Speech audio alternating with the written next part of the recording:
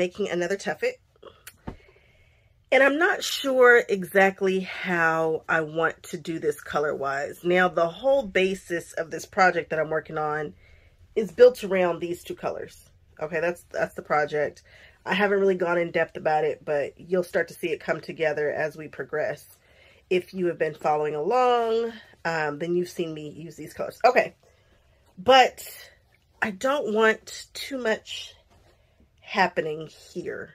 So I think I'm going to, I think this still coordinates well. Um, I shouldn't say the whole project. It's those colors in this print. So this entire project is about those colors in this print. I don't want to put this print on the round tuffet too. It's already on the square one. I think that's a bit much. So I think it's going to be this. I'm not going to add piping to this one. Piping is hard. that's, the whole reason why we're not. Because you know what? It's hard. It's not the easiest thing to do. And I would like to move swiftly through this. So this foundation is from Tuffet Source. And instead of it being a fusible on that super duper lightweight, we are on good old cotton. This is true fabric. I am going to press it like the Dickens. And I think I'm going to do the method that nobody ever talks about, which is the 4-1-2-1. So if you see tuffets and they've got a larger, like a larger um, section, I think it's because they're doing the 4-1-2-1 method. So I'm going to use this focal fabric to cover up four of these sections. Then I'm going to do one. Then I'm going to do one that covers up two sections. Then I'm going to do another one. I know that probably sounds silly, but this is really just foundation pieced. It's kind of the same thing as we've been doing with paper, except for we're doing it with fabric. And yeah, I think that's the, I think that's what we're going to do. This is going to be the one. This is going to be the two because I really want you to be able to see this suit. And it's and it's all about this um, flower here. This tuffet will be about floral flowers, roses, which is to be part of the floral kind of feel. Okay. So the first thing I'm going to do is the same thing that I did with the other one is I'm going to cut everything out. This one has nice bold lines for you to see. And I think I will use my ruler, this little guy here, and a rotary cutter to do this rather quickly. I think that's going to be safe on this one. And be sure that you are not going all the way in. You're just staying the line. just be sure to stay the line on this one. And it also gives you a button cover pattern too, which is very nice of them. So I'm just going to cut these all apart and then we'll be back. There should be eight of these. So in this fabric, I've just cut everything out and I have hit it with a ton of starch. Well, quilting magic. And it has a key right here. And it talks about the solid line is a cutting line. This broken line here is a center stitch line. You have a placement line. You have your strip stitching line. You have your panel stitching line. And you have your pin alignment point. I guess I'll just cut this out for funsies. I mean, it's kind of self-explanatory, but yeah. I probably need to change this blade. This blade has been through quite a few projects, and it is still actually hanging in there, so I'll tell you guys which blade this is, because this blade has done paper piecing and everything, and I still haven't changed it out. And I think that's worth noting. Okay, let's press out all these pieces, and then I'm going to show you, I'm going to cut the fabric for it. So all these are cut out. I left the bottom part on and I just wanted to go through these lines with you one more time. This black line was the cutting line. We cut these all apart using that line. This is the center stitching line. This is the placement line. We're foundation piecing and so you want to be sure that you get at least a quarter of an inch over this line before you um before you start stitching so that when you fold it back, we've got some little play here. We've got a seam allowance to work with. Then these are the strip stitching lines here. And then we have the panel stitching line. So when you join your panels together, you'll be using the brown. And then we have the pin alignment so that we get these bad boys all where they're supposed to be. And this is all using this key here.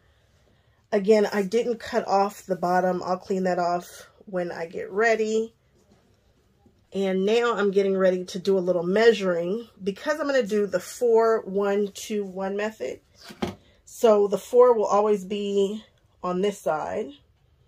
And then we'll do, so these four, one, two, three, four, that's five. Okay, that's wrong. One, two, three, four will all be covered. The center line right here is where I need to make sure that that fabric goes all the way from outside this edge to right here. The fabric has to cover that. And so in order for me to get a good, I can cut these strips at five pieces, so five inches. So five inches should give me enough play to place it here, stitch it here, still have a little area to cut it off, and still go all the way past the edge. So I'm going to cut that one at five inches. The next one I'm going to cut at probably one and a half. I should be writing this down. So I'm going to cut the first big strip at five inches. I'm going to cut the second one at one and a half inches. They measure just a little short of one inch. So one and a half should give me enough play on either side.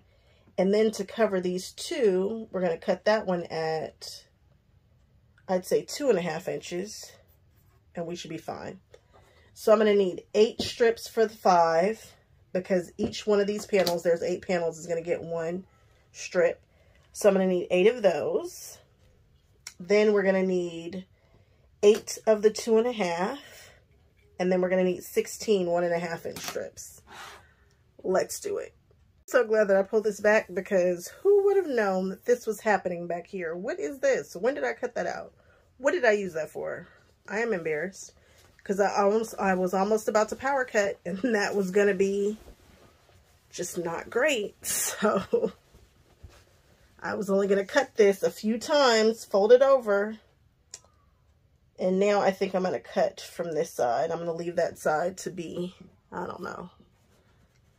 You guys, I think I'm going to have to buy more of this fabric because I don't think that these projects are enough to say, okay, I feel like I'm done with it. I think there's still some things in me when it comes to this fabric. Not 100% sure, but it feels like it. So I'm going to freshen up this edge.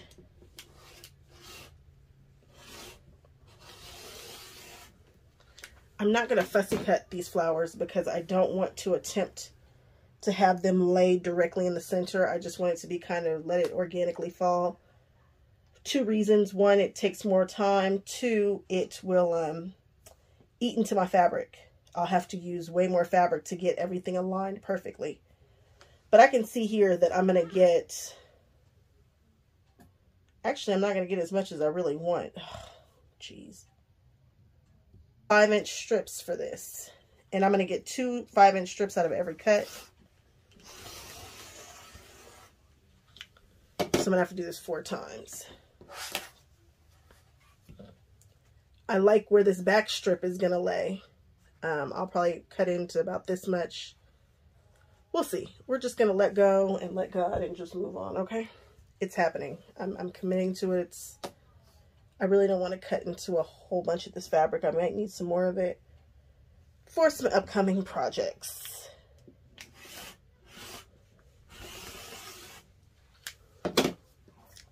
Two and then we're going to just cut two more and then we'll have our eight strips. You want all your strips to be at least 20 inches. So I am just cutting off the back ends of these pieces.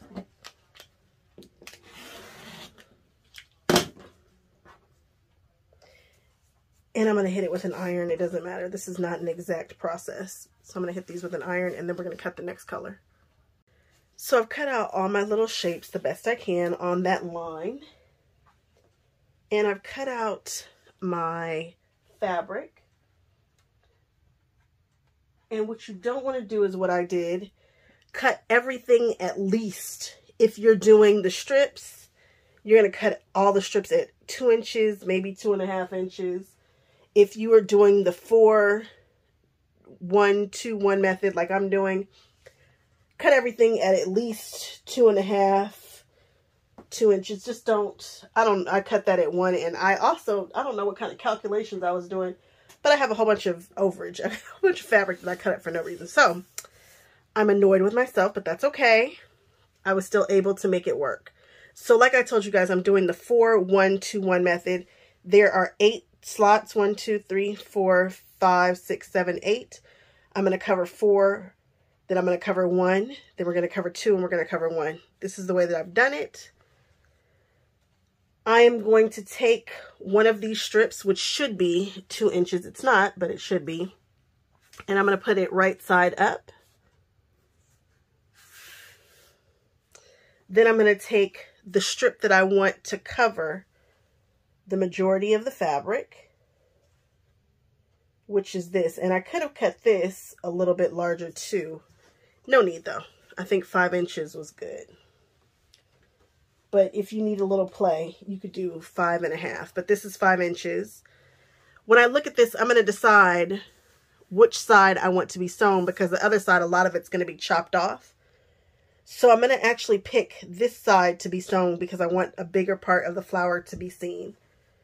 So I know that I am going to be sewing on this side. So I'm actually going to put the, this right sides together. And I'm using that 19 inch line right there just to kind of make sure that they're lined up pretty good. So that they're lined up pretty straight.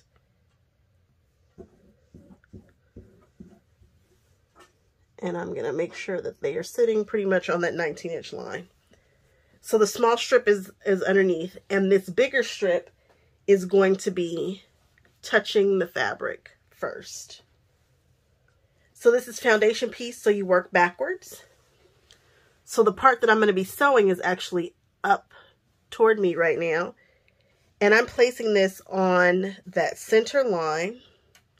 I can see through the fabric and I can see that that 19 inch is lined up all the way this way. This is how I'm going to start. I'm going to grab a couple of pins and I'm going to pin the fabric in place. This is not fusible, so you will need to pin in order to keep everything as aligned as possible.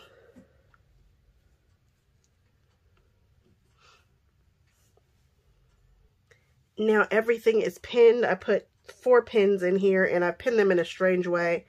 You can pin them this way, whatever way you feel most comfortable. Just make sure that you've got it so that this fabric isn't shifting around on you. So now I'm going to come over here and I'm going to turn my machine to one and a half. And we're going to sew down the center line here.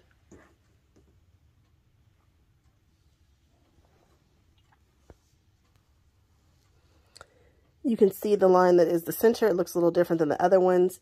The fabric placement line is off to the right by about a quarter of an inch. I'm going to drop this needle down right at the tip.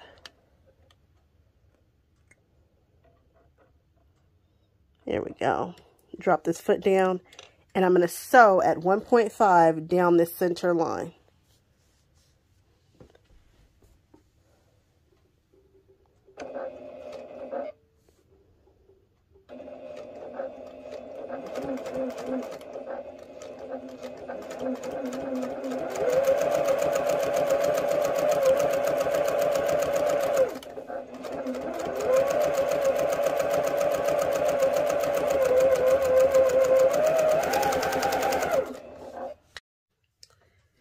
Now we have sewn down the line. I'm going to remove these pins and toss them over here on my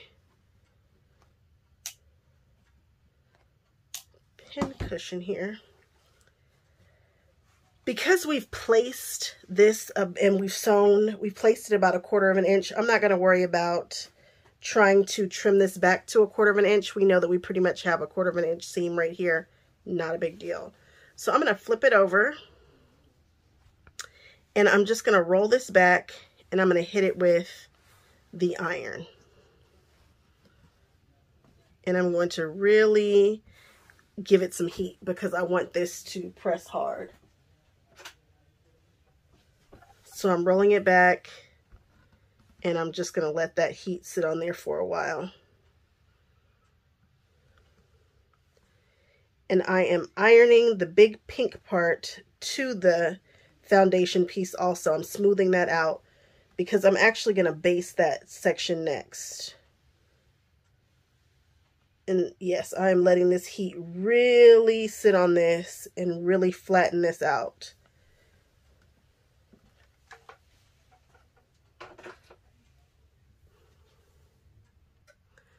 So now it looks like this, it's pressed flat. I am going to flip this over and take it to the sewing machine and I'm going to do a basting stitch in this three quarter inch seam allowance. I'm going to try to keep my foot, my quarter inch foot up against this side. You get what you get, you don't throw a fit, but I do want to make sure that this is basted down. To do a basting stitch, I'm going to turn my knob to the longest stitch length it has, which is 6.0. And I'm just going to grab this. And I'm going to just gently be careful with it. And again, try to line that foot up with this. And it's just going to take really, really, really big stitches.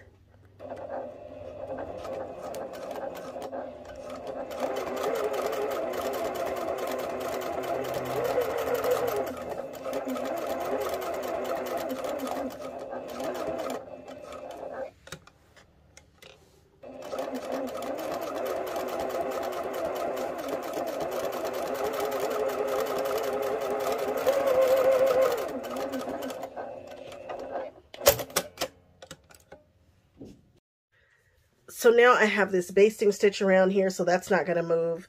Now, for this next step, if I had made this the proper size, I would fold this back like uh, two inches. So I've pretty much got it at a quarter of an inch. I can see through the fabric here. Up here, it's way more than a quarter inch. So we can roll this back, fold this down here. So yeah, you fold this back on that line. So I'm going to put this on this second line. So remember, this is the stitching line. This next stitching line is right here. I'm going to put it back. I'm going to pull this back to expose what we have. I'm going to put this quarter inch little rim up against this. This is an add a quarter ruler. And I'm just going to take off, I could just take off that quarter inch. I guess I can. It's not going to hurt anything. All right and that quarter inch is gone. Now we are going to flip it back over to the front and we're going to line up the next color which is the suits. And I'm just going to line the suits up with this edge here. And I'm going to start pinning down here at the bottom. So we're just going to make it straight and I'm going to pin to be sure that it doesn't move. You can pin a lot, you can pin a little, you do you. Um, there is a slight curve at the shoulder area, which is right here. So you might want to be careful going around that mountain, but other than that, you're fine. It's not such a hard curve that you're going to have a super duper, not yet anyway. So I'm just going to pin all the way up.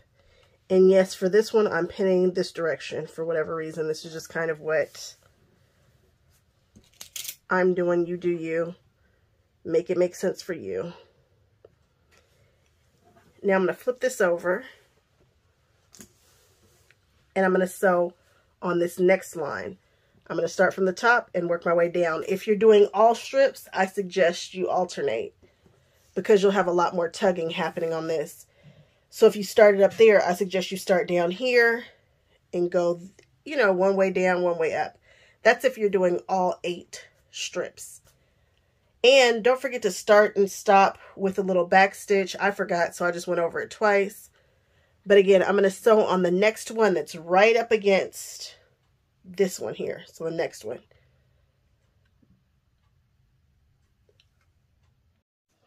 Okay, so this is a close-up view so that you can see which one I'm sewing on because it does get a little tight up here. And you're like, which one is which?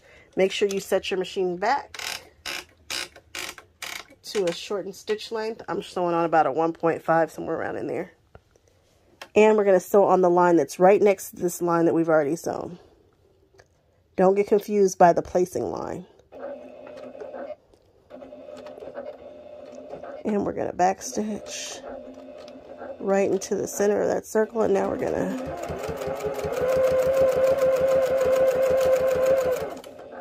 cook with some gas. And we're just going to sew all the way down this line. All right, so I have finished sewing on this line. And so you want to give it a peek and see if you've got a quarter of an inch. You do. I do for the most part because you want to reduce bulk if yours has a lot more overhang. But we're fine. So now we are going to flip this over and we're going to push this back.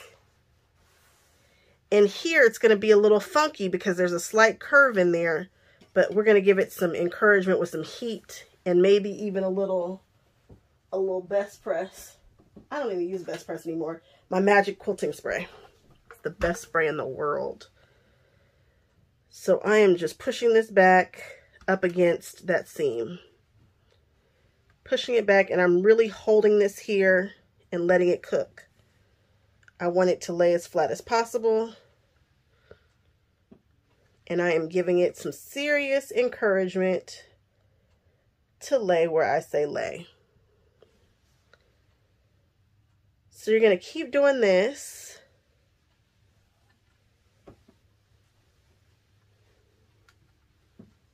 push it back so that you're all the way up against that seam. And again, this is just like foundation piecing, except for you can really iron since the foundation is just fabric that's not fusible. So I'm going to go on ahead and finish ironing this, and then I'm going to hit it with a little bit of quilting spray and then freeze it in position, and then I'll show you. I'll come back. So now, if you flip it back over, you'll see that we want to cover two now. So we've got one, so we've got our four here. We've got our one strip that we just sewed on. Now we're going to cover two blocks, which means the next block that we're going to be sewing on is this guy way over yonder. Not the one that joins them together, but the one right next to it. So I'm just going to roll this back and see how much fabric overhang we have. And it's not that much down here but it's quite a bit up here at the top. You can trim that now or you can just go on ahead and let it live. I'm going to trim that right now just so that I can place this fabric better. So I folded it back on that line. And yes, it's a weird angle. Don't worry about that.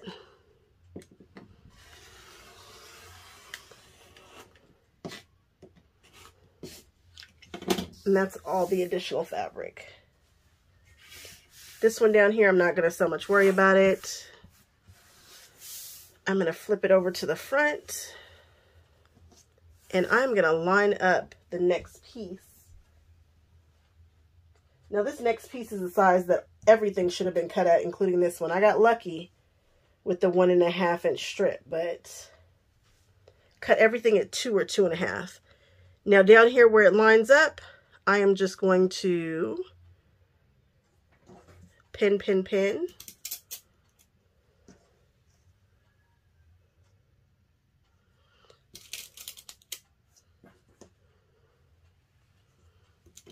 And I'm sewing over my pins. I shouldn't. You can pull these if you'd like, which is best practice.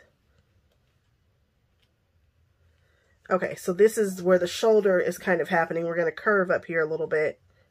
And I'm just going to curve it just a smidge. Not a whole bunch. This is not cut on the bias. These are straight, but they're going to give you, they're going to give you a little bit of, of a curve here. You're going to have a little curve.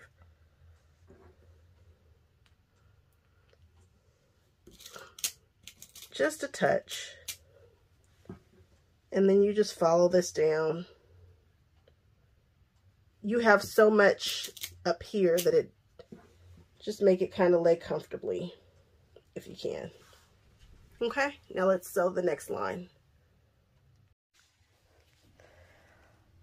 All right, so we've sewn this line here. We've sewn this line. We're going to skip this one, but we're going to sew the last, not the last one, the next to the last one. You want to skip this brown line. That's the one that you're going to use to connect. But I'm going to sew on this line right here, this one.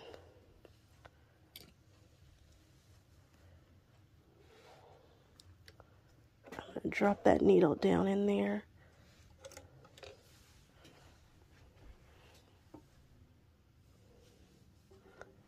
And make sure that your stitch length is shortened still.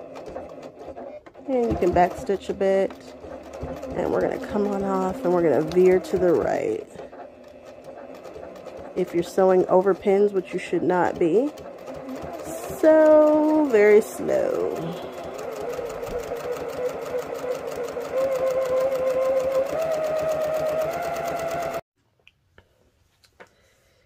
Now we are going to pull these pins.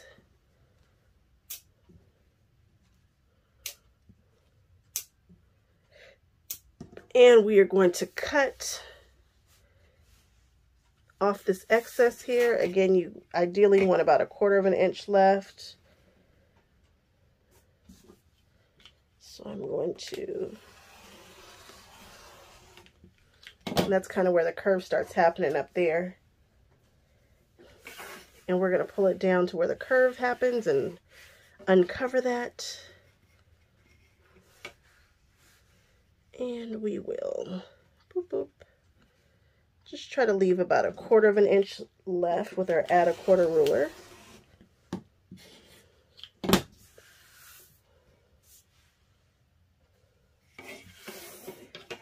Now we're going to roll it over and now you are really going to want to give it a nice little press. It looks like there's a little bit of extra here. Did I not get it? And we're trying to reduce bulk, especially up here at the top. So we're just going to take off that extra. Okay. And there we have it. All right, so this is perfect here. And now we are going to give it some more encouragement with heat and maybe a little steam, although I don't use steam in that way. I mean, I do, but not from iron. Okay, so just give it a, a go. And I'm just going to push back and I'm just going to let it sit there and cook it. This is 100% cotton and it can take a, a heat licking for sure and keep on ticking. So let it do its thing. And I'm pushing back against the seam. I'm letting it give it a little, you know, again, a little encouragement. And when I hit it like this, I'll come back over and spray some of my favorite quilting spray.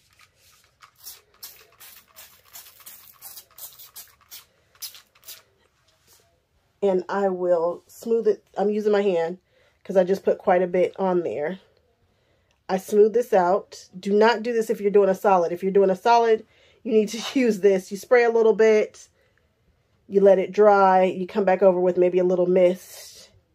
You let it dry much faster, but um, I shouldn't say fast. You let it dry. Okay. But because this is colored and it'll hide any stains or if there are any stains to be had. And it was hot. So we're just to smooth it out and come back over and this will freeze it in place. It's very difficult to make this spray flake. It's doable, but if you do what I just did, it probably won't and it probably will not burn. So I heated it up first. I came over it with the spray. I massaged it into the fabric. Kind of told the fabric where I wanted it to go. And watch, when I pull this up, it's going to look like I'm pulling up a sheet of paper. And I'm heating it up and I'm drying it. This is hot, hot. And we're going to let it cool. If you have a clapper, now is a great time to clap, clap, clap. I like this shape clapper for this particular project. I have some square ones. I have some small square ones, big square ones, rectangle ones. I love a clapper. And I love an all wood clapper for this. And this is just to smooth it and absorb some of that heat. And watch, when I pull this up, you're going to hear it. Did you guys hear it? It comes up like paper. It's super flat. And it's super stuck to that foundation piece. Now I just need to do the same thing for this back half. And then we will trim this piece out and be ready to put them all together. So now this is flat like a piece of paper and I'm going to baste this side the same way that I did this side just to keep it from flapping away from the foundation even though it's pretty much stuck and basted to the foundation because of all the spray that we used. But I'm just going to do the exact same thing with a quarter inch and a six inch length. My quarter inch foot and my six inch length.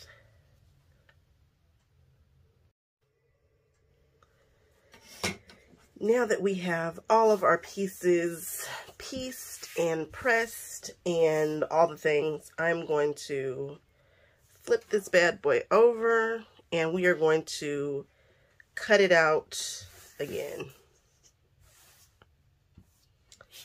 So I'm just going to cut this on this line and remove all the excess fabric.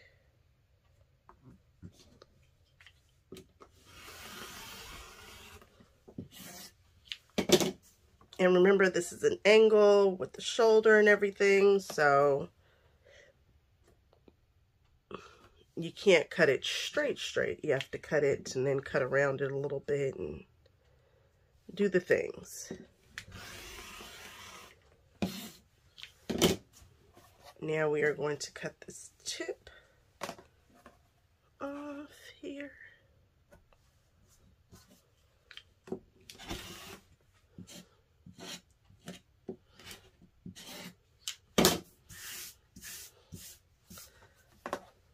I swear I'm going to change that blade after this project.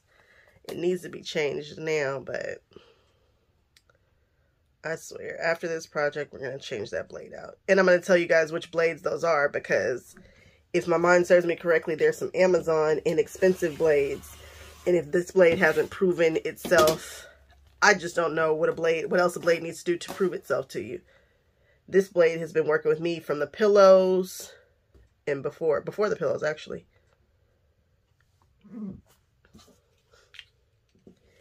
And the pillows were paper pieced. And I was using paper to cut all the things. I was using this blade to cut paper, cut everything, so we shall see. And now I'm cutting the bottom off. So this is our trimmed piece now. It has this basting line that you can see on the front. But don't worry, that will be captured back here when we, um, it'll be cut off because we're going to sew on this brown line right there in this brown line. So there's one. I'm going to do that to the other seven and then we'll start joining them together. So,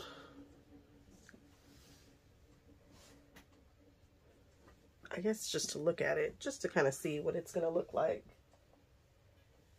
I'm going to lay them all out. So I don't have to worry about a blue touching a blue. There are eight pieces here, and it looks like it's going to come together, right? These four, one, two, three, four, five, six, seven, eight. Okay. Now I just need to start sewing them side to side. So I'm going to sew two together, then another two, so on and so forth. I'm going to grab my pins and I'm going to stick this through the center of this And then I'm going to find it over here and stick it through the center of this.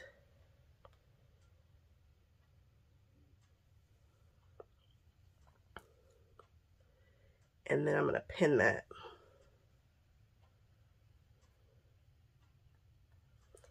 And I'm going to do the same thing for this pin here. And then I will pin through all of these, trying to make sure that sticking that pin through there, looking for this hole, sticking it through the center of that. I wish these holes were a little smaller. I don't know if they need to be this big. All right, and that looks like it lines up pretty good. So I'm to pin through there.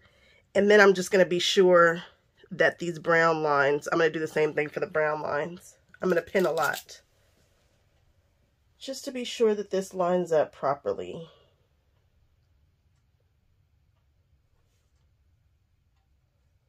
There will be a lot of pinning.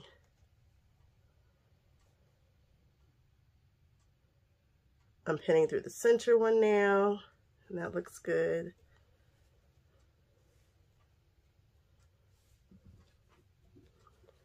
And now I'm going to go through and do the same thing for this brown line and just make sure that they, they line up. My other one was pretty forgiving, but I'm assuming that the more accurate you are, the better your piece will be. So let's do it.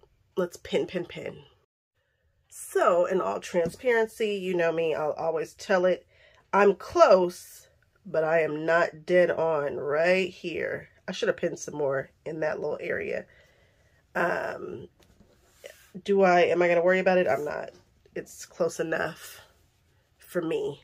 I think I'll be fine.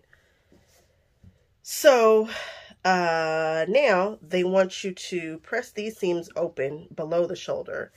And above the shoulder here, they want you to cut it to 3 eighths.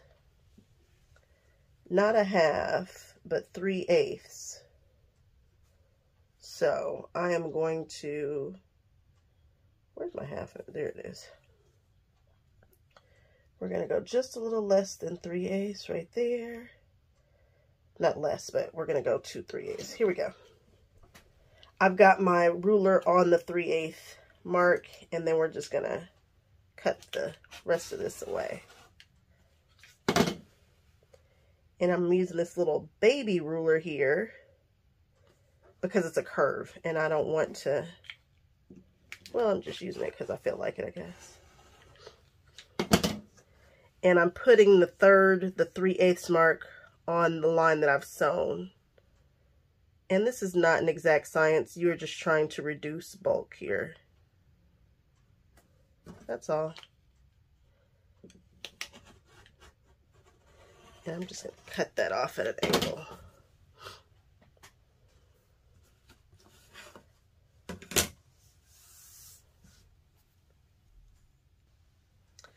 So it says cut these to 3 8 right here at the shoulder. And then it says from the bottom, you're going to press them open. And I'm like, okay, that's a very big seam here. But I guess pressing it open will reduce some bulk. So I'm going to go take this to the iron and just press it open. And this is what we have. I'm just letting this fall where it's falling. I don't know. I don't know. It just says press the seams open below the shoulder.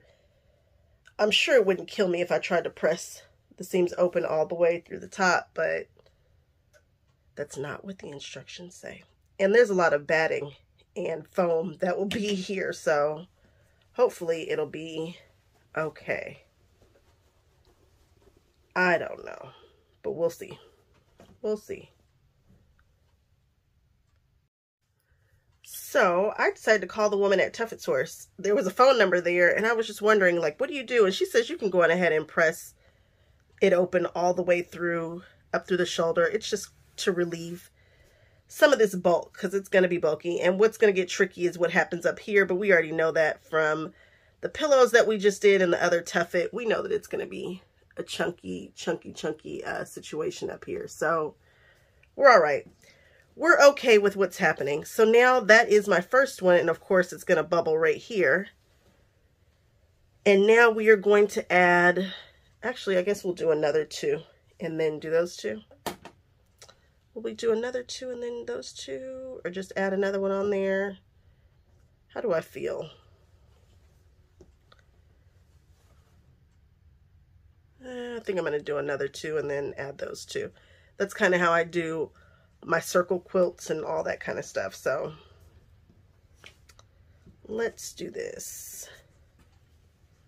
Same thing. I'm going to put those pins through the points and pin, pin, pin.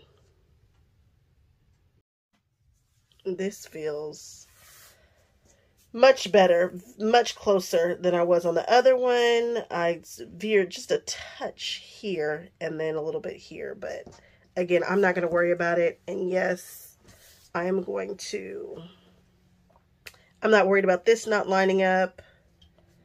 Um, and we're going to cut this just like we did before to 3 eighths. And that will be that.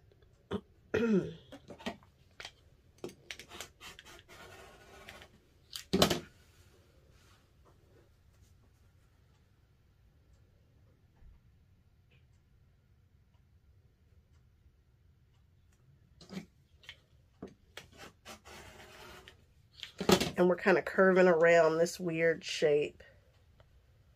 And we're just putting the 3 eighths on there.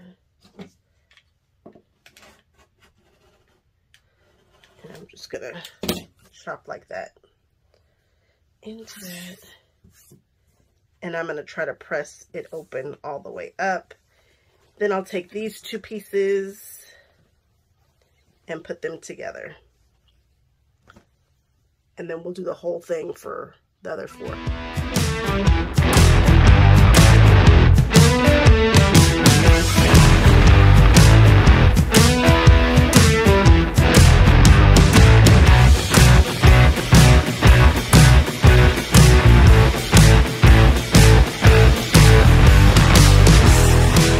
So I have sewn them all together. We've got them all together and I've got all the seams pressed open, I thought, except for this guy right here. This must have been the last one I've sewn. And this last one, I really just jumped off this part here, but that's because I couldn't get it to line up here. And so I'm thinking about ripping that to right here and trying to repin it and trying to catch it because it's so funky up here. I think I will pull that really quickly. Um, other than that, everything looks pretty good. All right, that's better. So now we've got this all sewn together. And again, these tuffet patterns are pretty forgiving. Do not worry if you are not 100% on the line. I think it's still going to come out pretty good. Uh, my finger, there's a, a hole here that's big enough for my finger. There's a lot of bulk that comes into the center here but there's a big enough button to cover the scary things that we don't want anybody to see. So I think we will be, we'll be fine. I hope. we'll be, we'll be okay. All right, so now I need to go find a cord. I've flipped this right sides out. Now I need to go find a cord so that I can pull this like a drawstring at some point. I'll be right back. So in this kit. This is a Tuffet Source kit. It comes with a button and some cording and perfect. So I'm assuming it's going to be this cording that I'm going to use. I bought some of this cording from Joann's. It's super inexpensive. It's like blinds cord. Um, get it in the upholstery section. So this is the two and a half inch button. This is the cording that we're going to use to ruche the back. And then this is the cording that we're going to use to pull the button through. We're just going to put this to the side. The next thing I'm going to do is I'm going to grab my ruler and I'm just going to mark with any pin about a half inch up from the bottom. Just kind of to give me a guide. Of course, me always using such um, contrasting fabrics. You're going to be able to see it on some and not on others, but I'm just marking a half inch loosely because that is going to be the line that I use to for this cording. So for this part, it says to widen your stitch length as wide as it'll go and um, stitch on the right side of the fabric a half an inch above the the base. So that's just what I'm going to do. That's my half inch line that I'm somewhat trying to follow. I put my open toe foot on because it felt right. I'm giving it a little bit of a tail and I'm just going to line this cording up with that center mark between my open toe foot. You guys probably can't see it, but I can see that it's right there. And I'm going to lay this cording on top of it. I'm going to drop my presser foot and this is going to be a super wide stitch. It says do not hit that uh, the cord. So as long as I stay in the middle here, I should be fine. And I'm just going to go all the way around doing this. Again, I left a, about a five, six inch, maybe seven inch tail on that side. Now we have our zigzag cording encased there. We have two strings here to pull it, to draw it tight. Now I'm going to go get the batting and the foam. I'm going to place this batting down and then we are going to put the foam on top of it. Now, if you buy the kit, you've got some options for the kit to come with the batting already stapled on it, which is awesome. Um, I didn't buy it that way because it's an extra cost that I don't need. And I also am going to use a much better staple gun. That Stanley gun just was not as heavy duty as I wanted it to be. I ended up having to hammer in the staples quite a bit. That other wood was extremely hard. This wood feels a little softer that other kit is not even available any longer. This kit you can get, I can only find round kits. I can't find any square kits other than the Fairfield. Fairfield is not the most sturdy or luxurious kit, but it does come in the with foam, but the foam seems to have the same density as that Joann's foam, the green foam, which is really, and I have some here randomly, which I use in those cushions it's different. The, the holes here, the air holes, are a lot larger, and so the density is not the same. And that foam from Fairfield seems to be that same kind of quality. So, I'm just saying, I bought the Fairfield kit. I sent the Fairfield kit back. I might do the Fairfield kit again, but you're not going to get pre-drilled holes. You're going to have to work for it it only comes with, I think, the foam and the wood and I think some directions. Outside of that, you're going to have to work for it. So we'll talk about the best way to do a tuffet and how much it's going to cost and all that. We'll, we'll have that conversation on another video. So let me go grab the batting and this foam. So this is the upholstery foam that I've laid down on my table. It is about an inch thick it's not the same as that new foam. That new foam is a lot more dense and it doesn't move this way as easily as this does. This is a little bit lighter. I feel like I felt this kind of high loft batting all poly at Joann's. I feel like you can absolutely find this at an upholstery store for sure and at Joann's too. It feels, it's just a, it's an, it's soft. The new foam was not this soft. So this is me loading my gun here. The battery is not in, and I am just putting some, I think I'm using 3 8 inch. You could use a half an inch, and I'm just loading them down facing this way. And I have seen what this can do. So I'm not really, I'm not really concerned about the power of this. I think we'll be fine. I did a little 2 amp hour 18 volt lithium battery for this. We are going to dream big and hope that one day I will be sponsored by Ryobi. so now it is ready to go. Heavy duty, it's much more heavy duty, I should say. And it's heavier. So it's not, it's, it's a heavier one. Because this battery is not the largest battery, it's not going to sit up straight.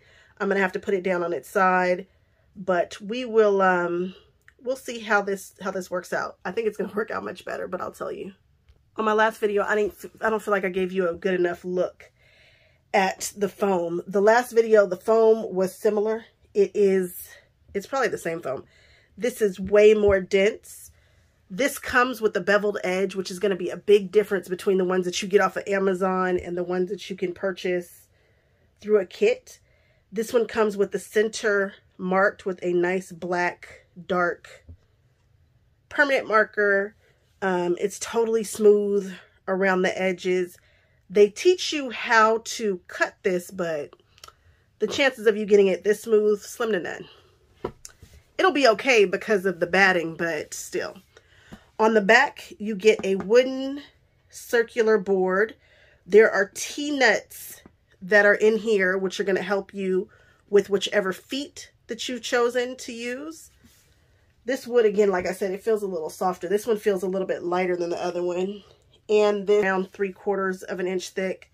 We have some nice large holes here for the button. You'll pull it on either side. The center is right in between here. You've got a lovely stamp on the back so that you know that you actually are getting a legitimate Tuffet Source one. You're not getting one of the ones off of Amazon that are a knockoff of Tuffet Source. These kits are very difficult to find. And so I only know of two places right now that are actually selling them. And that is the Tuffet Source and then I think it's Easy Quilting Corner, which are both out here. I don't know if anybody else is, but we'll look at that in another video. But I love how dense this foam is. This just feels a lot more luxurious. These T-nuts that are sunk in were done by machine. So, you know, it's just, it's nice. It's nice. This is a serious piece of furniture that you're making. It's not a, a fly-by-night kind of piece of furniture. This is what the woman, she called it an heirloom. And I get it. I get why she calls it an heirloom piece because really it is. So I'm just going to start smoothing this batting up on the sides. And I'm going to staple it about a half an inch from the edge. So this staple gun, you can adjust how strong, how hard you want this sucker to fire. I had it all the way up to max. That was absolutely not necessary. I can put it all the way down to minimum and it still sunk all the way through this wood. Um, again, I feel like I'm going to go shoot the other one just to see if they're, if this wood, if it's the wood or the gun. I'm almost positive it's the gun. Wait till you guys hear the way that it sounds. You cannot sit it up with this light battery here. So I've done the opposite side over here. I've done this opposite side over here, and now I'm just going to go across. And I am not pulling it, I'm not, you know, distorting it or anything, but I am pulling it taut. Yeah, that one, okay. That one was a little bit. Mm, no, it's still pretty, pretty flush. No, it's in there. I could probably turn it just a touch. Just a touch to make it a little bit stronger. And I'm going to smooth this out.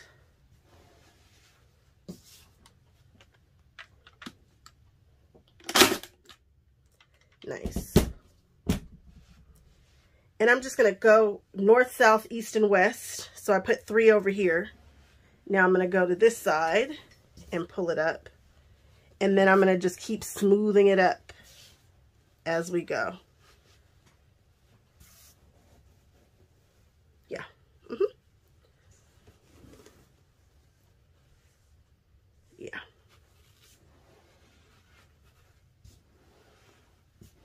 That stapler makes such a big difference. I mean, I was sweating bullets the last time.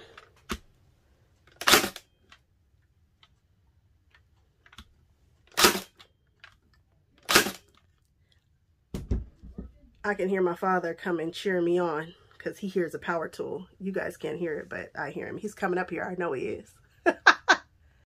Let me just say the right tools for the job every time. It just makes such a big difference. You know I'm a notions girl. We're going to be talking about this product here in just a second. Um, this, it just made it so fast and easy. So now I've got it all kind of gathered up here. And I think I'm going to go back after I trim it and find out where there are like little, little places right here that are still kind of puffing up. But this just, it just made it so nice and easy and taut. And it took me no time, guys, to do this. I started at the north to south, and then we just um, north, south, east, west, and then we just filled in the areas.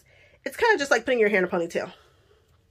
Now I'm going to cut this away, leaving about a half of an inch of batting. We're going to put some to the side for our button, which we'll get from this corner area.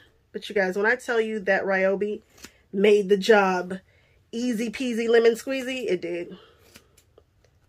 It absolutely did.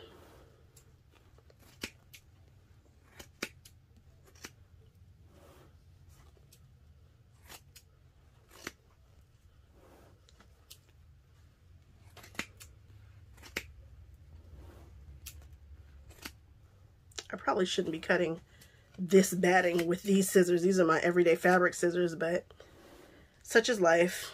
Do I have 30 million other pair of scissors? Of course I do. I'm a girl who likes notions and all the things, but these are the ones that stay out all the time, so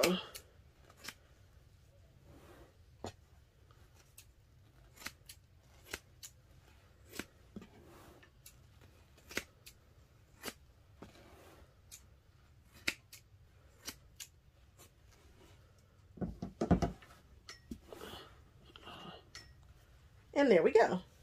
The poof. The poof, the poof. Maybe there isn't any place that really needs to be. Let's see if I got it cute. It looks good. Look, it looks nice and round. And you know, I know it's weird putting a square on a round object, but I really didn't get any um, overlaps or anything like that that's going to make it bumpy or lumpy. It's It all kind of just works.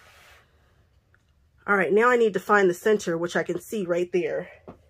And I'm going to put an awl through the center. Give me just a minute. You're probably wondering why I'm sticking an awl in here, but it's because I need to find center and I can see it. It's dark. And I'm sticking it in there because I'm going to put the tuffet cover over this and I'm going to use that as my center mark. Now,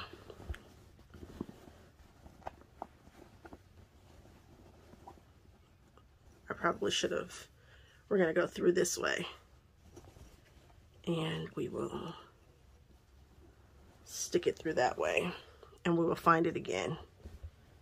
There it is, right there. All right, now we have some place to hold it. And now I'm just to pull my cover over and see if it fits. Ooh. I'm to pull it over here to the corner of this table so that I can pull down past the tuffet a bit. It's tight. You gotta want it. But because we shortened our stitch length and it's foam in here, We'll be fine. Whee! There we go. Oh, it's a cutie patootie. She's a cutie. Okay. And I'm going to keep on pulling until I get it even.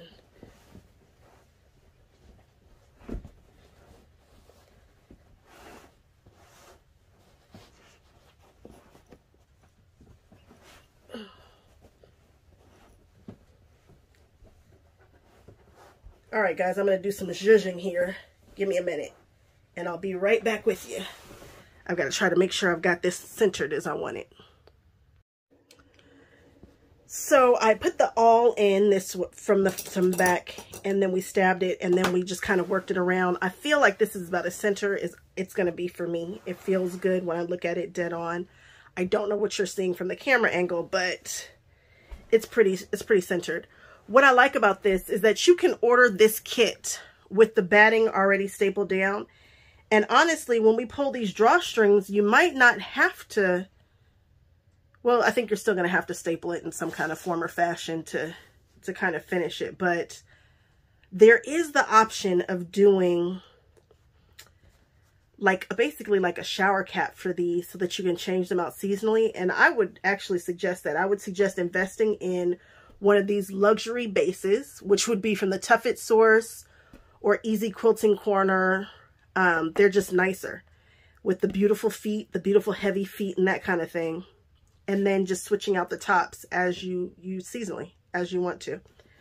That is an option. Okay, so now it's time for us to evenly distribute this fabric around the sides. So I'm just going to start pulling on these cords here and we will see what happens. Nothing is happening. I'm pulling on the cord. There we go. I once saw somebody do this with dental floss. And they said dental floss, it just doesn't catch. So it's, it's nice. So with my ruler, I'm just gonna mark this.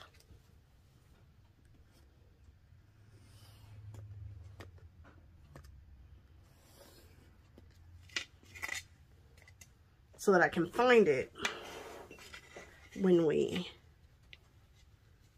cover it up.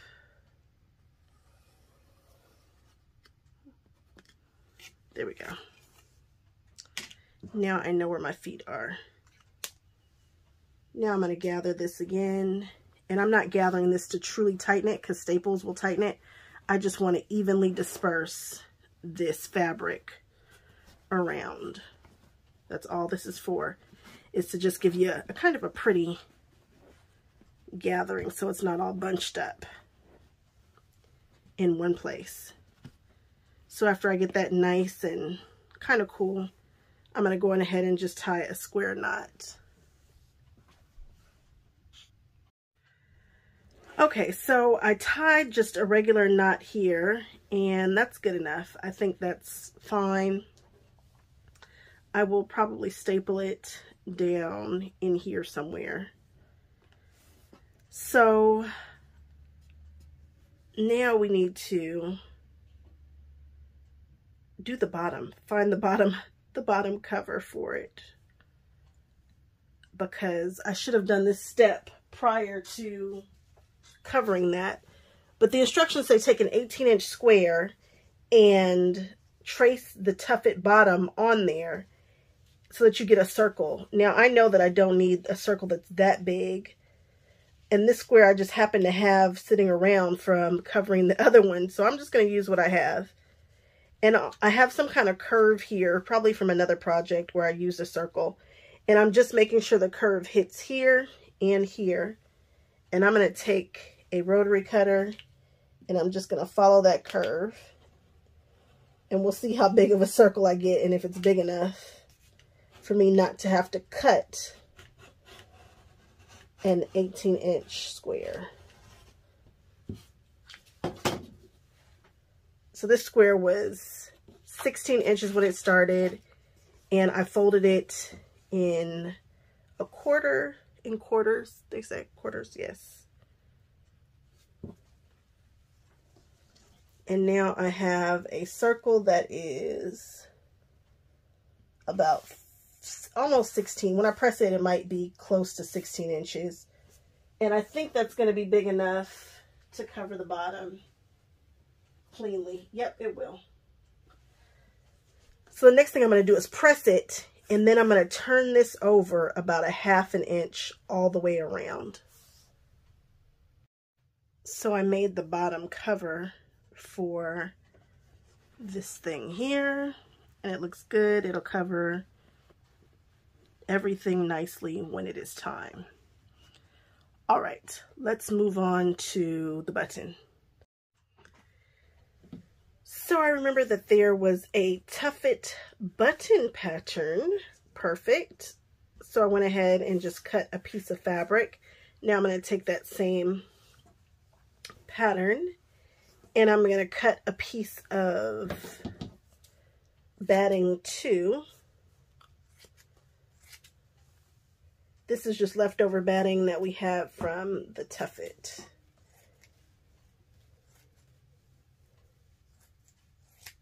And I am going to cut it around loosely.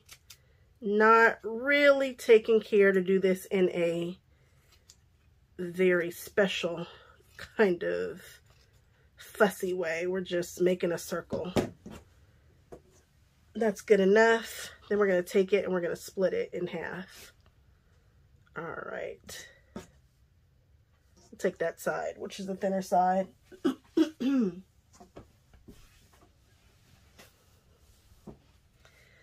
also, we're going to actually, I better press this and then I will cut this out. Next, it says to use some upholstery thread. I have no idea. I do not have upholstery thread, but I do have some pearl cotton, which I'm going to use, and I think I'll be fine. So I'm just going to take my pearl cotton and this doll needle that is extremely sturdy. I'm just going to tie a quick knot at the back, and then we're going to do a running stitch through the batting and the fabric. That's where I messed up last time. I didn't do it through the batting and the fabric.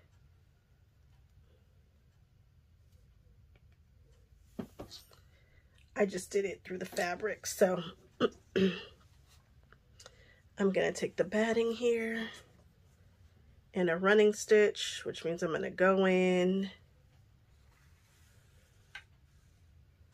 and come out. And I'm just going to go back in and come back out. And I'm going to do that all the way around until it gathers. It should look like a little shower cap when I'm finished. That was super duper fast. Now I'm just going to take this two and a half inch button. Now on here, this button, they actually have the clasp on the back. The other one that I had did not. And then I'm just going to pull it tight. And just keep cinching it. Ouch. And look how pretty it looks. Now I'm going to try to get my button smooth. So I'm going to cinch it a little bit. And then I'm going to just start stitching back and forth, back and forth. So it's coming out from over here. I'm going to find where it's got a, got a pucker and I'm going to put it through there and I'm going to pull it and that's just going to make it smooth. So then I'm going to go back across where it's got this little edge right here and I'm going to stick my needle through there and I'm just going to pull it tight and see it smooths it right out. And I'm going to just keep doing that until my heart is happy. so in this kit, they give you four strings that are kind of shorter and you really want to work these strings so that they are in there very, very, very tight. I was doing it differently, but I, the strings just weren't long enough. So I'm going to thread it through the needle. I'm going to go across from this one, so I'm going to work over in this area here. I want it to come out a little bit right there. No, right there. I wanted to come out about a quarter of an inch in. All right, so I'm going to pull that through. And I'm going to take another stitch here, right near it. There we go and I'm going to pull that through again. So now I can kind of pull it and adjust it. I want a shorter tail right there. I'm going to thread this puppy one more time. And I'm going to send this needle right back up, kind of where it is. There we go.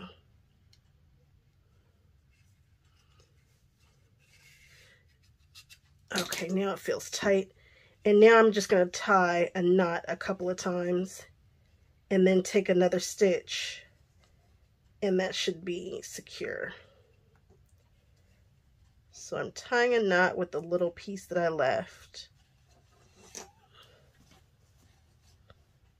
Come on, little knot. There we go.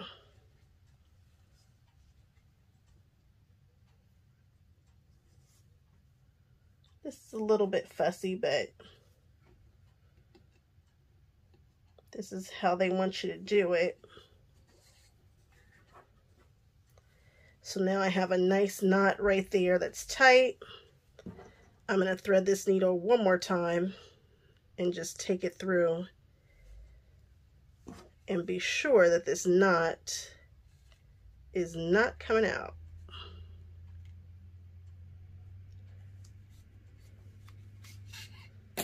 And now I'm going to tug on it really hard and I can see that it's not it's not going anywhere. So then I'm going to do the same thing for the first two. And then yes when we finish it'll look like a little jellyfish.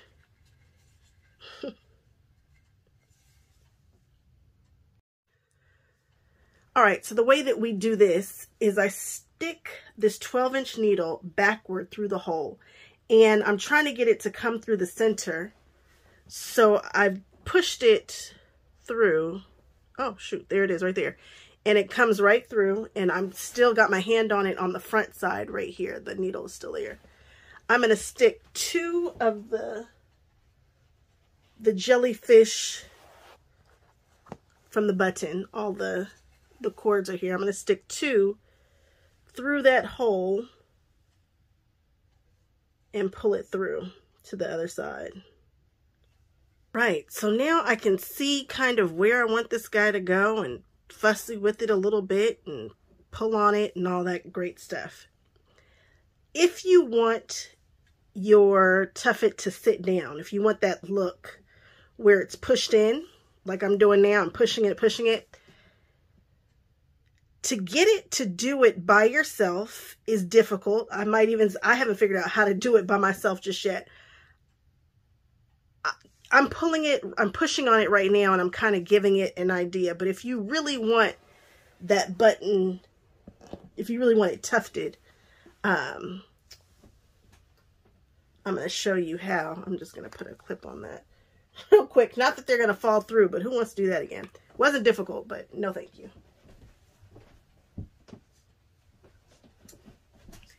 At Home Depot in the plumbing section, you can get this. This is, I want to say, a three I think it's three inches on one side and is it three? It's three inches on one side. It's three and a half inches on one side and then I think four on the other. Take this and you're going to cup your button. You're going to put your button. You can put your button on this side or you can do it on this side. And you are going to flip this over so that the button is sitting in the hole. You're going to have somebody press on this. And I had my mother press twice. You see how it went down two times? And then I tied a, a knot while she was pressing down on this because trying to do it with one hand, I'm sure it's doable. Um, if I were doing this just by myself, I think I would push, pull it, push, pull it, and then hit it with some staples. So I tried to staple this by myself and it was a fail. I just could not, I could not get it. I think it's because I didn't want it, you know, you know, I really didn't want it, but it could have worked. However, I had help here and I love this. I think this is absolutely beautiful. I think it tufted gorgeous. Um, it's deep. It doesn't have to be this deep. This is quite deep, but we were leaning on it quite hard. Not super duper duper hard, but hard. So now I need to find where these feet are and mark them. And so I'm just making sure that there is, okay, so that's right there. I'm using my awl to do this. Perfect. And I'm making sure to put a staple right here also so that it's, the fabric is not going to shift when I put the cover on. Now I'm going to grab my back and I am going to try to center this so that nobody can see all of my ugly. And it feels pretty centered. feels pretty good.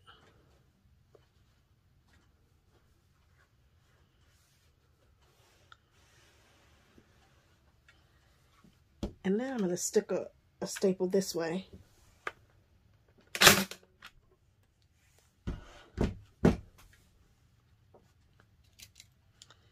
And I am going to find where that hole is. I'm going to pull it back and find where that hole is. I can see this hole is right here. Now I'm going to go across this way and find this hole. I'm going to give it just a little, I'm just going to pull it taut. Nothing too crazy, just taut.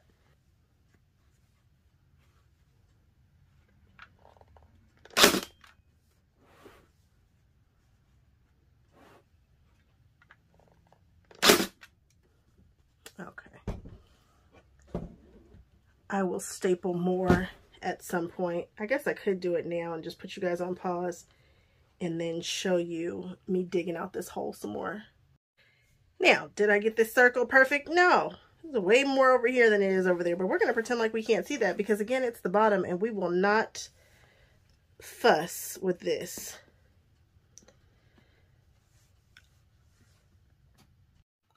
Okay, it's not perfect, but it's it's on there. It's covered. No, none of my undies are showing, so I feel good about this.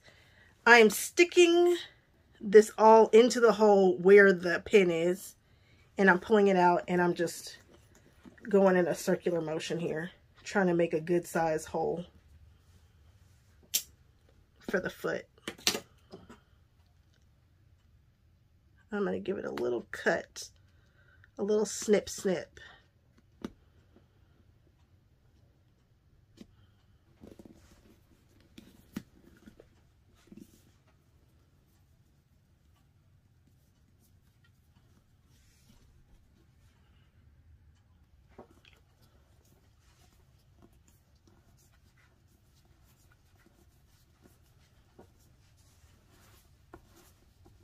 Yep, it took just that long. I've been screwing for a while. but I think I finally got it down in there good. All right, perfect. And now she's tight. Okay. So we are down to our last little foot. And I just want to show you guys how beautifully wrapped up these are. So the, the guard is on the outside of the plastic and it actually has a a tip on it. And then you open this up.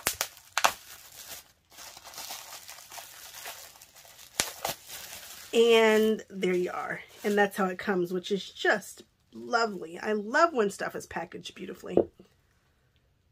Well I think it came out pretty stinking cute. It's big. It's heavy. It is quite luxurious, I must say. Um, it's definitely a couture piece of furniture.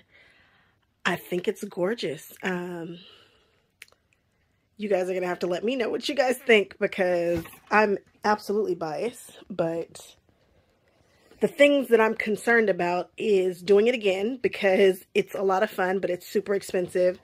And so I want to look at some ways to cut the cost. There is a kit on Amazon and I sent mine back but I think I'm going to buy it again and look at it. I'm still going to use the patterns from either Tuffet Source or, um, what's the name of the other company that I used? Or um, Quilter's Cocoon. But this is just gorgeous, guys. I am really cool. Let me know what you think.